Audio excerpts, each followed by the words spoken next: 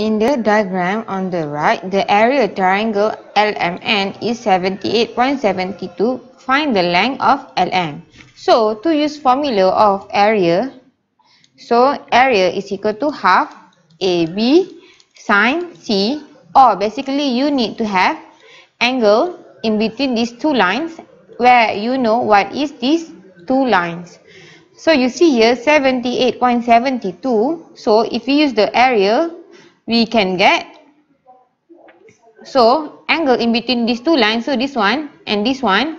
So the area is known. We can get LM. So we know that area is equal to half AB sine C. So half. So the line in between is 17. We don't know what is LM. So B is LM. Sine 20 is equal area is 78.72.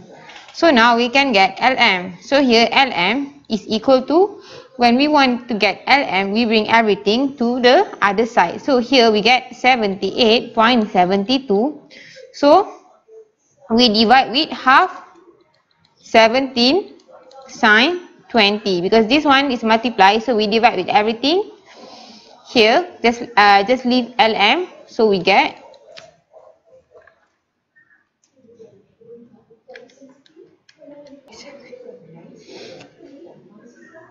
So we get LM is equal to 27.078. So here 27.078 cm.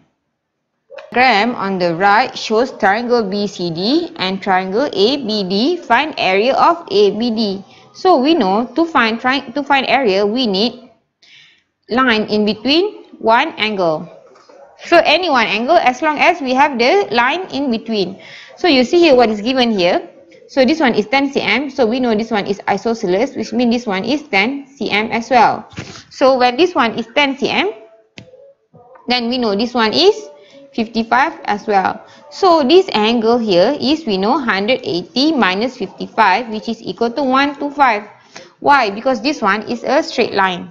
So again, to find area we need uh, two lines, two lines and between angles. So you see here you have so you have this line and you have this line. So if you can find this angle in between these two lines, you can use the formula.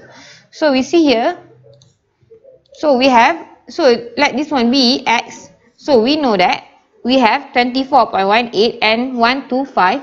So x is equal to 180 minus 24.18 minus 8 minus 1 to 5 which is equal to 30.82. Now we have this angle and the line in between. So you see here you have this one which is 30.82 and this line is 20 cm and this line is 10 so you can use uh, area so area is equal to half AB sine C where half so A and B is the line in between the angle which is 20 and 10 so sine C is 30.82 so we get 51.234.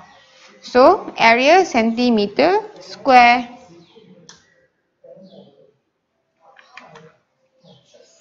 So, ABD is 51.234 centimeter square.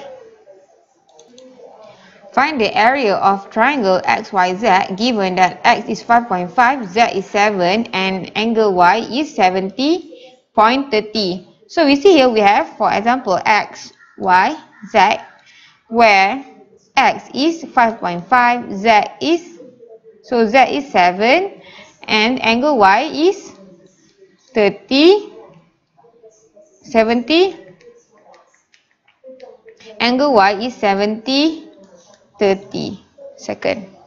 So we see here to use area you need to have angle in between two lines. So you have these two lines and you have the angle so you can directly calculate the area.